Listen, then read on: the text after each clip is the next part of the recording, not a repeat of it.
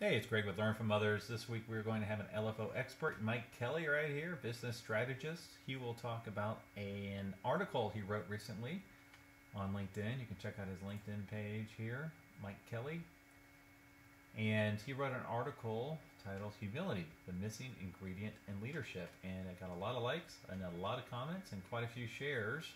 So this seemed to really resonate with a lot of folks. And so on this podcast, we're just going to find out his thoughts on why, and we'll learn more about it. What it takes to be a humble leader as well.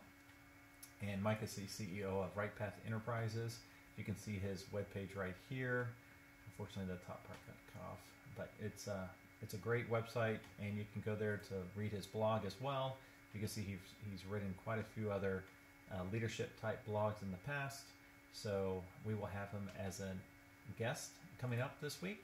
And then next week, we will learn about his career path, his career journey from when he was a little kid, what he wanted to be when he grew up, to what he actually does today.